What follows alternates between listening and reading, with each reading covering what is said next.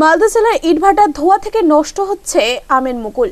ইটভাটা থেকে তৈরি হওয়া ক্ষতিকারক গ্যাস নষ্ট করছে আমের মুকুল। মুকুল আসার সময় ইটভাটার ধোয়ার কারণে ফুল না ফুটে ঝরে যাচ্ছে আমের মুকুল। এই মুকুলে গুটি আসলেও নিয়মিত ইটভাটার ক্ষতিকারক গ্যাসে আমের ক্ষতি করবে এই আশঙ্কায় চাষিদের। জেলার প্রতিটি ব্লকে আমবাগানের মধ্যে একের পর এক ইটভাটা তৈরি হলেও প্রশাসন কোনো পদক্ষেপ গ্রহণ করছে না বলে অভিযোগ জেলার আম চাষিদের। জেলার কিছু ইটভাটা সরকারি আইন মেনে তৈরি হলেও আমবাগানের ভিতর তৈরি হওয়া অধিকাংশ ইটভাটা বেআইনি বলে দাবি জেলার আম চাষিদের। এই মৌসুমে ইট পোড়ানো হয়। আবার সেই সময়ে জেলার আম বাগানগুলিতে মুকুল ফুটতে শুরু করে। মালদা জেলার ইংরেজবাজার কালিয়াচক, মানিকচক, রতুয়া, পুরাতন মালদা সহ প্রতিটি ব্লকে আম বাগানের মধ্যে ইটভাটা দেখা দিচ্ছে অধিক পরিমাণে। নিয়মিত আগুনের ধোয়া থেকে বের হচ্ছে ক্ষতিকারক গ্যাস। আর সেই গ্যাসগুলি আম বাগানের মধ্যে ছড়িয়ে পড়ে মুকুলের চরম ক্ষতি করছে। চলতি মৌসুমে জেলায় আমের মুকুল ভালো এসেছে। কিন্তু ইটভাটা ধোয়ার কারণে মুকুল থেকে গুটি হচ্ছে না। জেলার আম চাষিরা বলছেন, আবহাওয়া ভালো থাকায় বর্তমানে আম বাগানগুলিতে মুকুল ফুটতে শুরু করেছে। তবে ইটভাটা ধোয়ার কারণে মুকুল কালো হয়ে ঝরে যাচ্ছে। মুকুল থেকে আর গুটি তৈরি হচ্ছে না।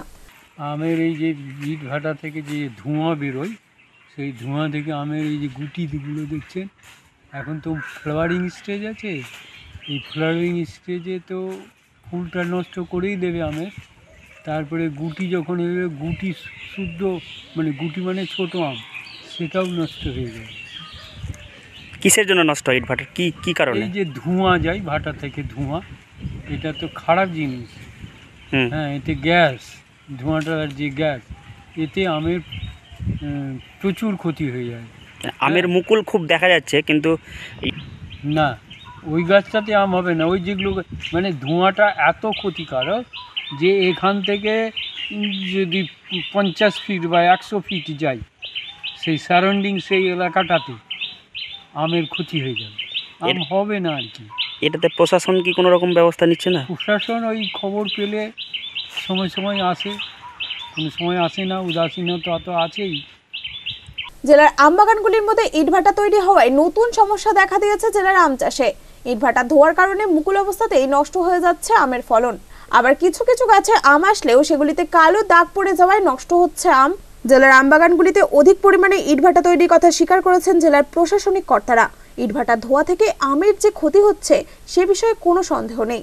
এমনটাই দাবি উদ্যান পালন দপ্তরের কর্তাদের।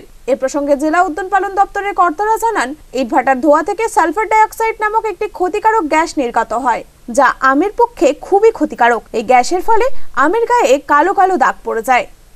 Actually as a technical person হিসেবে যদি আমি বলি, তাহলে আমবাগান যে সকল জায়গাগুলি গড়ে উঠেছে সেটা আমার হয়তো মুকুল এসেছে সেই স্টেজ বলুন বা ফল ধরেছে সেই স্টেজেই বলুন।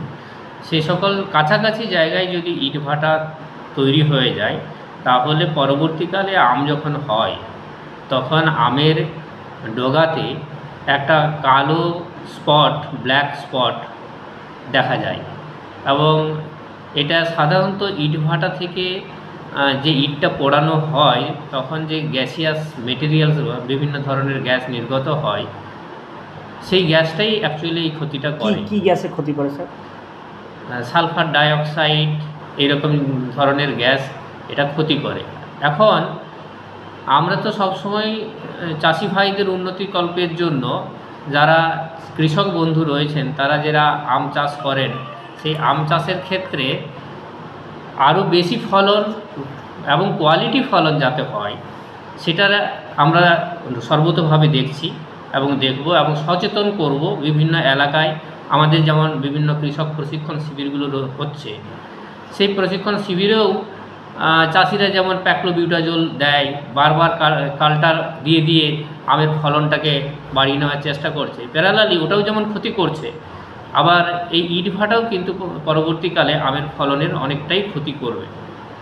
তো ব্যালেন্স ওয়েতে আমাদের চলতে হবে, কারণ একদিকে যেমন ইন্ডাস্ট্রি গড়ে উঠছে, অপরদিকে আমাদের প্রোডাকশন বা ফলনও বাড়াতে হবে।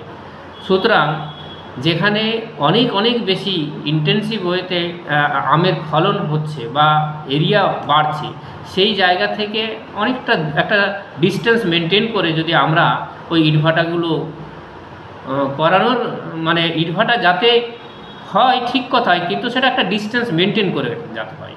এইটা জেলা প্রশাসন ডেফিনেটলি দেখছেন এবং আমরাও সচেতন করছি পাবলিককে যাতে এইটা যেন হয়। মালদা থেকে দেবসিংহের রিপোর্ট আনন্দ বার্তা